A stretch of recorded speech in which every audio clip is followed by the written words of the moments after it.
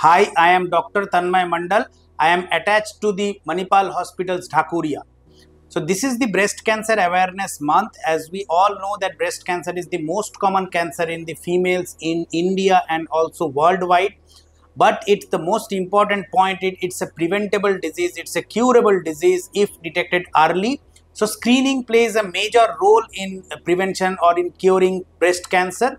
The main issues which we need to see in any patient of these is that we need to do regular breast self examination at a, after a certain age of around 35 to 40 every female needs to undergo a mammography of the breast.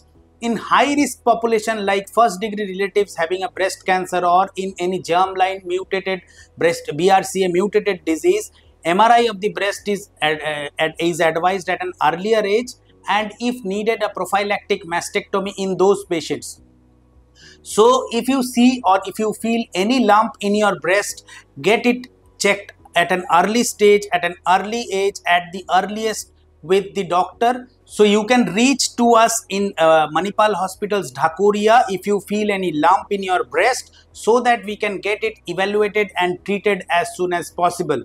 Thanks.